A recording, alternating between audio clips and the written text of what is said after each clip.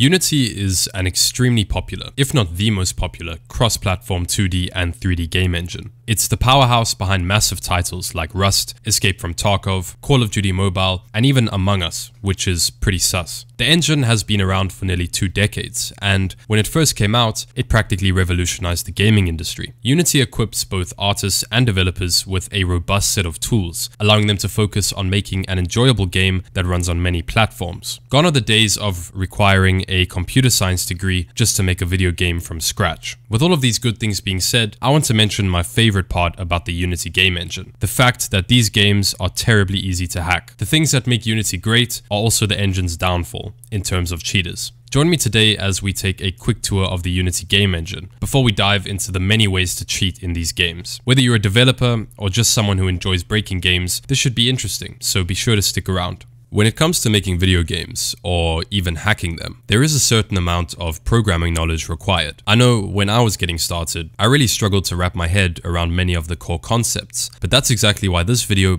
is sponsored by Brilliant.org. Brilliant is an online platform where you learn by doing, with thousands of interactive lessons in math, data analysis, programming, and even AI. Personally, I love Brilliant because they take a unique approach to learning. Instead of reading walls of text or having to listen to boring lectures, their lessons are full filled with hands-on problem solving, allowing you to develop an understanding of complex topics from the ground up. If you don't believe me, I highly recommend that you take a look at their Programming with Python course. Here you'll get familiar with Python and begin building programs from day one with an interactive built-in drag and drop editor. You'll even begin learning about core concepts like loops and functions in their signature interactive fashion. So what are you waiting for? To try everything Brilliant has to offer for free for a full 30 days, visit brilliant.org forward slash cazz or click on the link in in the description. You'll also get 20% off their annual premium subscription. Thanks for listening and let's get back to the video.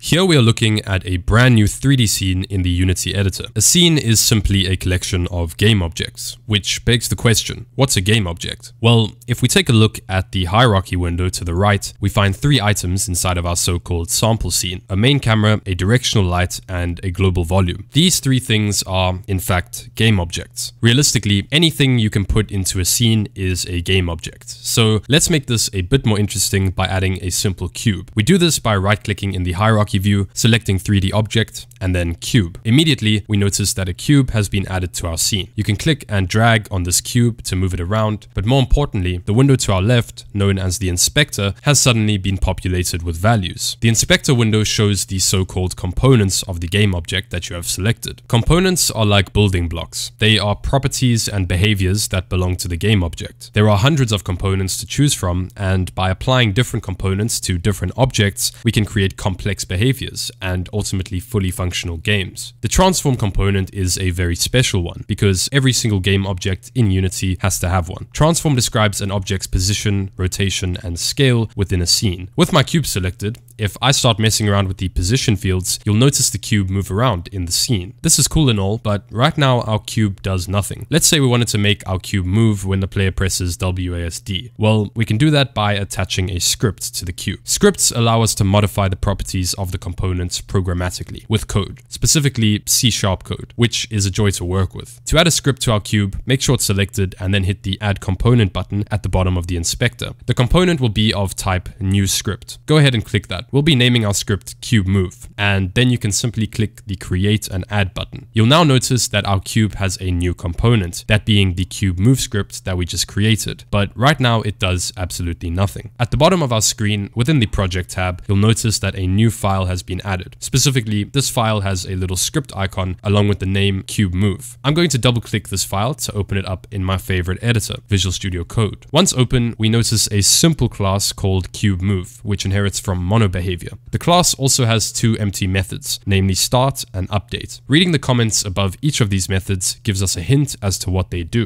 The start method is called once, before the first frame update, whereas the update method is called constantly, every single frame of the game. These are fixed Unity events. Basically, we never have to call these methods. Instead, Unity will call them for us. To move our cube, we're going to be working within the update method, so we can go ahead and remove the start method entirely. Within update, the first thing we want to do is access access Unity's input system to determine what the player is trying to do. We'll create a local variable called moveInput, which will be a 3D vector storing the direction in which the player wants to move. By using input.getAxis with the parameters horizontal and vertical, we have a universal way of getting the player's movement direction. This will work with WASD and arrow keys alike. Next, all we need to do is update the position field of the transform component of the cube. We do that by multiplying the move input by a constant speed, in our case 30, and then multiplying that by delta time, which is a topic for a later video. Make sure to use the plus equals sign to add the movement onto the current position, and voila, we should now be able to move our cube. Back in the editor, if we click the play button at the top, the game should run, and when you click W or S, the cube should move up and down. When you click A or D, the cube should also move left and right. Of course, the cube can't move forward or backwards right now because we set Z to 0. I hope this gives you a basic understanding of how Unity games work. We create scenes which contain game objects. We then add components to the game objects to make them do things within the scenes. Large games use these exact same concepts, just at a much larger scale to do much more complex things.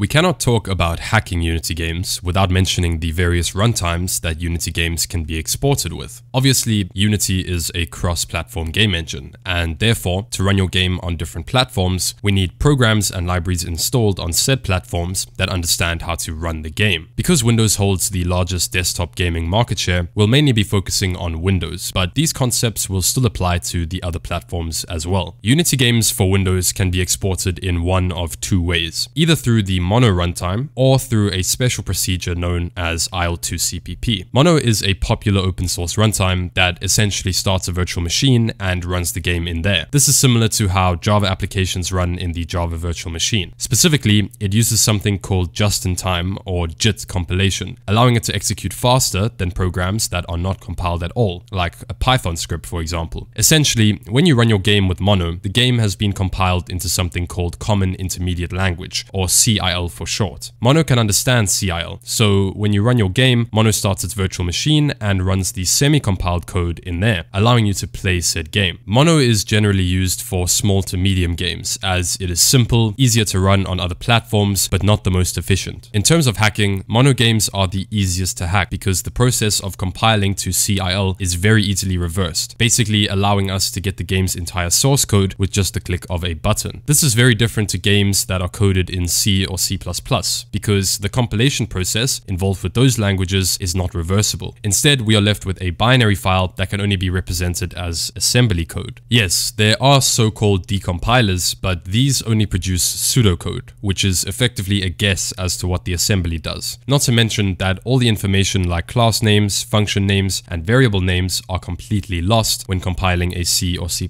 program. This takes us to the special procedure that I mentioned earlier. The other way to export Unity games for Windows is through IL2CPP. IL2CPP is an acronym for Intermediate Language to C++.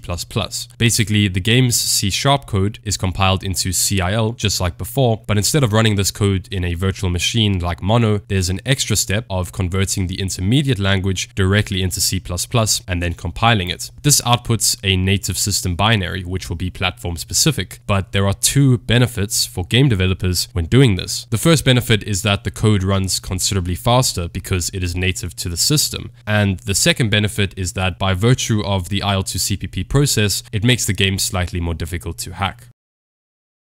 Unity game developers with more than three brain cells are obviously aware that their games are easy to take apart, so there are a few countermeasures that developers employ to make hackers' lives a bit more difficult. I've already partially mentioned one of these techniques. Earlier when I was talking about IL2CPP, I said that one of the benefits of using it is the fact that it makes the life of a hacker slightly more difficult. This is because the procedure partially obfuscates the game's code. Unfortunately for game developers though, IL2CPP also exports a shit ton of metadata with the game, which can be used to unobfuscate the code. This brings us to the first form of protection that game developers use, code obfuscation, specifically name mangling. When C Sharp is compiled into CIL, an uncomfortable amount of data about the source code is preserved, including class, method, and variable names. This is obviously a dream for hackers because we are usually working with complete gibberish. The names of classes, methods, and variables easily tell us exactly what the code is trying to do, and therefore it makes it a walk in the park to hack such things. What some smart developers do is they use a Unity plugin to mangle the names of all these entities, turning them into gibberish. Of course, we still see that they are there, we can also still see what they are doing, we just no longer have the added information of the name. The other form of protection that Unity developers use is a lot more obvious. We call them anti-cheats. Large multiplayer games like Rust or Escape from Tarkov employ kernel level anti-cheats. This is obviously expensive for the game company and let's not pretend that such anti-cheats are perfect because they aren't. These games still have massive cheating problems, but at the very least, it stops pasters and skids from easily hacking their games. The final way that Unity developers might protect their games is by encrypting certain metadata files. Earlier I mentioned that IL2CPP makes it harder to hack, but the procedure also exports a ton of metadata that we can use to unobfuscate most of the code. One way to stop hackers from doing this is to encrypt said metadata files, effectively stopping hackers from revealing the important information.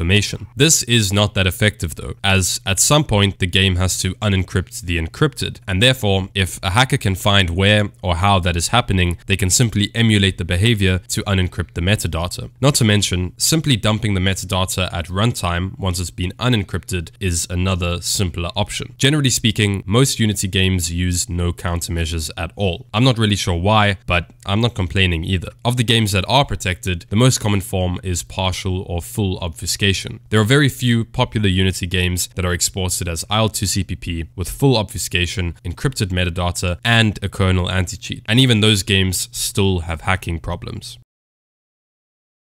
When it comes to mono games, they are definitely the easiest and most fun to hack. While this video is not meant to be a tutorial, I'd still like to demonstrate just how simple it can be to hack these games. This is a game called Terratech, where you drive around as a tank and you can make your tank better by destroying others and stealing their blocks. Taking a look at this game on my disk, we find a mono bleeding edge folder, which indicates to us that this is, in fact, a mono game. I'm now going to direct you to this GitHub repository. It's an open source program called DNSpy. You can download download it by either compiling the source code yourself or by heading to the releases tab and downloading the latest version for your platform. In my case, that's 64-bit Windows. Once you've downloaded the zip, I suggest you create a dnspy folder and extract the contents into there. You can now run dnspy.exe. In the top left, hover over file and select open. Navigate to your game's directory and then navigate into the folder postfixed with data. In my case, this is Terratech 64 underscore data. Then navigate to the manage folder and open up assembly C sharp DLL. Just like that, it's almost like magic. You now have access to basically every single class, method, and variable found in the game. You can then press Ctrl Shift K or hover over the Edit tab in the top left and select Search Assemblies in order to search through all these class, method, and variable names. In my case, if I wanted to find the local player, I can simply search for player and we find a variable called underscore player tank. Double clicking on the result takes me to a class called singleton, which probably means that this is my local player being stored in a singleton instance instance. If I right click on a random method in this class and select edit method, I can now edit this function in any way I like, before recompiling and having the changes take effect next time I run the game. I hope you can appreciate just how broken and easy this is.